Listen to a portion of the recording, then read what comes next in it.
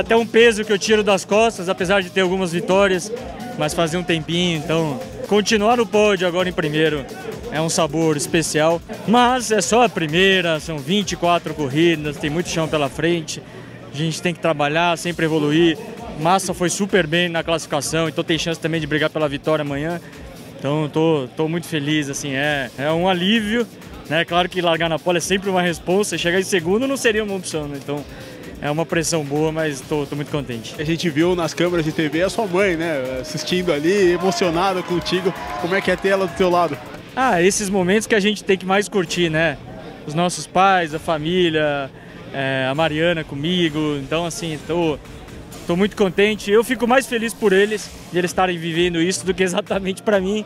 Né? Então, é sempre dessa forma que eu penso e, claro, dedico não só a equipe, mas família, patrocinadores também.